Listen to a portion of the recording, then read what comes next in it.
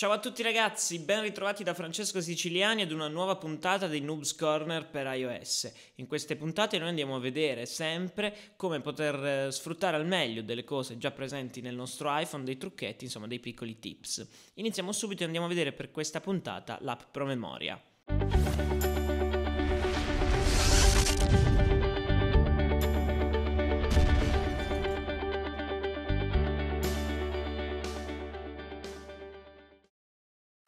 Andiamo a scoprire come utilizzare al meglio l'app Promemoria dato che molti di voi me l'hanno chiesto. Proviamo ad aggiungere un nuovo elenco di prova.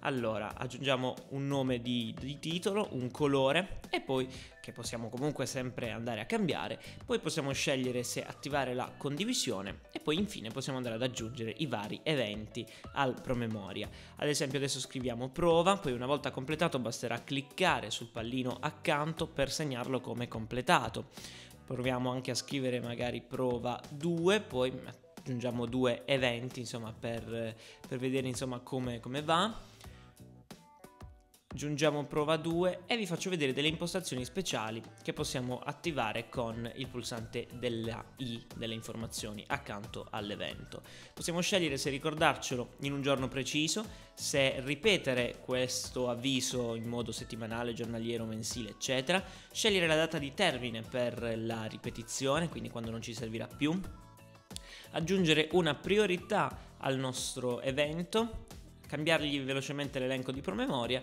andare ad aggiungere una nota e poi la cosa più importante, magari attivare la localizzazione per sfruttare la posizione. Potremmo scegliere di utilizzare la posizione per farci ricordare un evento quando andiamo via da un luogo o quando arriviamo in un determinato luogo, anche se questo ovviamente può influire sulla batteria perché tiene la localizzazione attiva.